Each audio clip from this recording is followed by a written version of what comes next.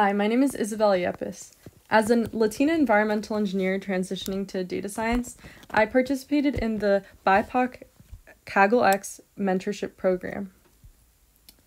My project goal was to predict tomorrow's rain. I've been to this area in South Florida and noticed firsthand the rainy summer afternoons. I wondered if I could predict that next day rainfall using the current day's rainfall, temperature, wind, surface pressure, and other features. I used machine learning, regression, and classifier models trained and tested on the South Florida 2015 data, and then I tested it on New York City and South Florida 2022 December data. I had to download data from an API and convert the hourly data to daily. This is an example of the vegetation for New York City versus South Florida. Of course, there's more vegetation in South Florida. Here, the uh, precipitation over time for 2015 in South Florida. Uh, the winter months are supposed to be the drier season, and yet there was a very big spike in rainfall. I identified this as an outlier, and I standardized features and removed outliers.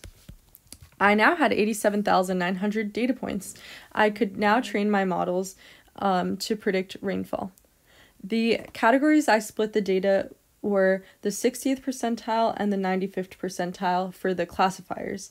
Um, because I chose these percentiles, it creates class imbalance. The last category only represents the 5% maximum of extreme rainfall events. But I did this because I wanted to see how the models could predict those extreme rainfall events.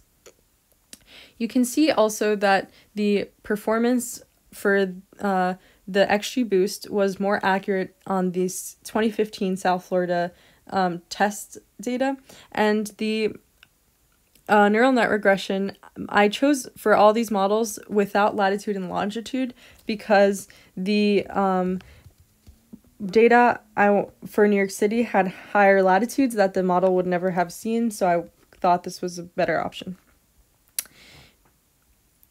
The XGBoost had these features as top importance, including temperature, current day's rainfall, and surface pressures. In general, the feature importance is like 9% max, so um, in general, kind of low.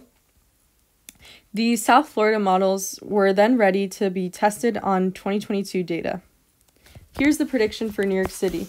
You can see the uh, true values are the first two columns, and the uh, predictions are right of the time column. So the neural net regression predicts continuous uh, millimeters of rainfall per day, whereas the categorical predictions um, group it into the 0, 1, or 2 bins, which indicate small, moderate, or extreme rainfall events. The NNCAT is the regression as a uh, category.